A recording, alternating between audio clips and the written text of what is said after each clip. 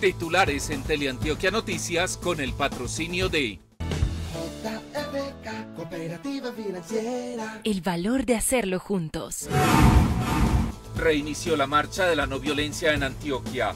En un recorrido simbólico de cinco días, la gobernación terminará la ruta que comenzaron Guillermo Gaviria y Gilberto Echeverry hace 20 años. Con la intervención del SMAT terminó la protesta que habitantes de San Cristóbal realizaron entre la entrada del corregimiento y el túnel de Occidente.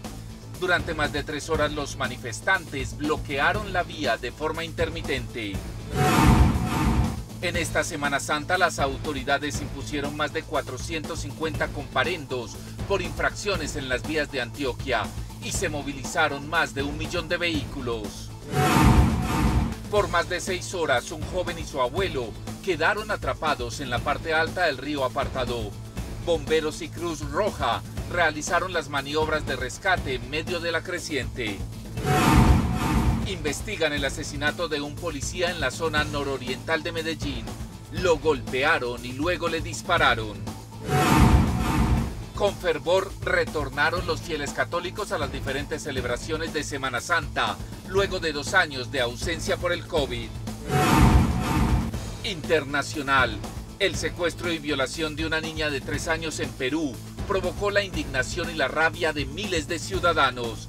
Piden la castración química para los violadores de menores.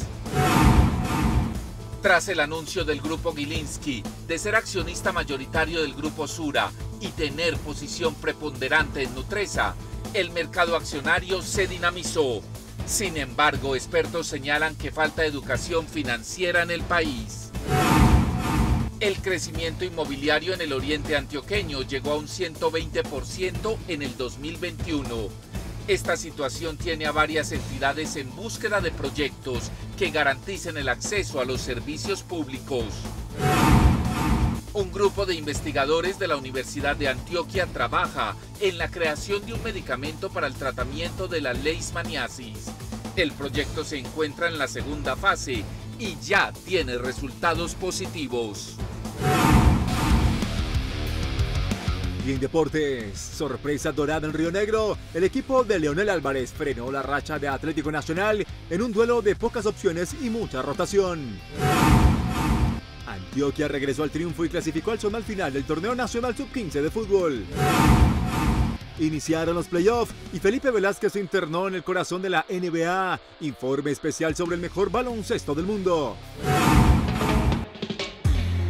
Y en la sección del entretenimiento, antioqueñas crearon la Kermés, una feria que en su primera versión llegará a Río Negro para visibilizar emprendimientos colombianos. Inami Music está de lanzamiento con su sencillo Canto de Arrullo, tema musical en homenaje a las víctimas de feminicidio. Los detalles en minutos.